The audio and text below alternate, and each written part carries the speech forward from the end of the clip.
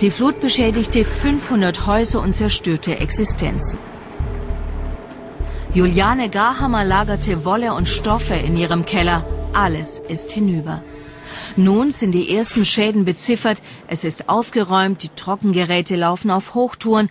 Doch in ihrem Laden bleiben die Kunden aus. Es läuft unheimlich schlecht jetzt. Ist klar. Wer hat jetzt Interesse zu stricken? Die Leute haben andere Probleme. Mit Hochwasser oder sonstigem. Das ist das Problem. Wir werden schauen. Es muss ja wieder besser werden. Ich will ja schließlich weitermachen. 5000 Euro Soforthilfe hat sie bekommen. Wochenlang war die Zufahrt zum Laden gesperrt. Nun kommt tagelang kein Kunde. Was bleibt, ist viel Zeit zum Stricken.